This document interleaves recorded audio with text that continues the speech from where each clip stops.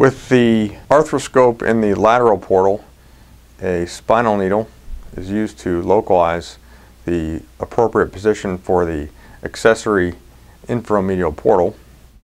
Next, the shaver is used to remove the synovium at the level of the accessory inframedial portal in order to ease the passage of instruments into the joint, especially with the knee hyperflexed.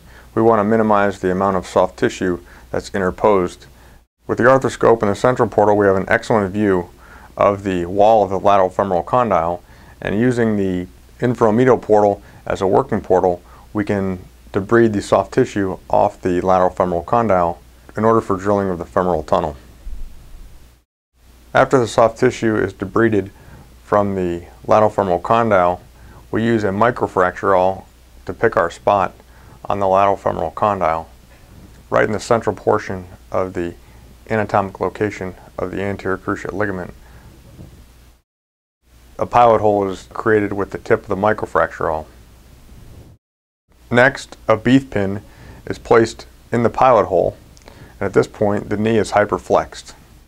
As the knee is hyperflexed, visibility can become somewhat difficult. Thus, it takes an experienced assistant to help hold the knee and to hold the camera while the pin is drilled across the lateral femoral condyle. The pin is drilled across the lateral femoral condyle until only the tip of the pin remains within the joint. At this point, there is nothing across the knee, so the knee can be fully extended. With the knee fully extended, the flow is restored, making visibility easier. The location of the tip of the pin is evaluated at this point. Once the pin is drilled out the lateral aspect of the thigh, it should be evaluated. The pin should come out in this location, not this location. With the arthroscope in the lateral portal, the very sharp reamer is reintroduced across the medial compartment with the knee in the resting position. Subsequently, the arthroscope is placed back into the central portal and the reamer is passed over the guide wire.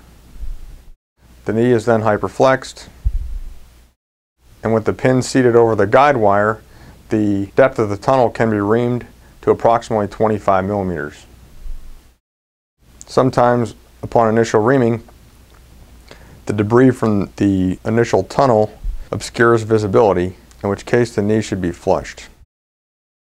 The tunnel is drilled to a depth of 25 millimeters.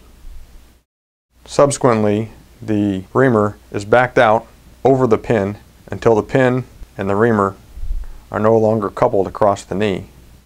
Once the reamer is pulled out into the notch, the guide pin can be pulled in the opposite direction. Once the pin and the reamer are uncoupled, the knee can be fully extended as there is nothing across the knee.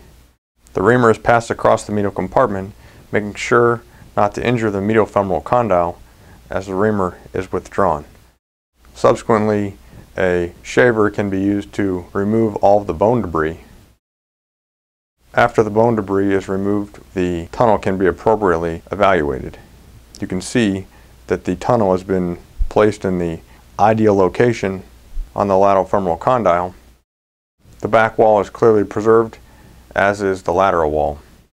At this point, the tunnel is evaluated. The lateral wall is clearly intact. Thus, an endo button would be safe to use in this situation, and the tunnel has been appropriately drilled. It's very easy to evaluate with the scope in the central portal. If there's any question as to the depth of the tunnel, the reamer can be re-advanced into the tunnel now that the bone dust is no longer there and the length of the tunnel can be perfectly evaluated. The medial femoral condylar cartilage is still pristine.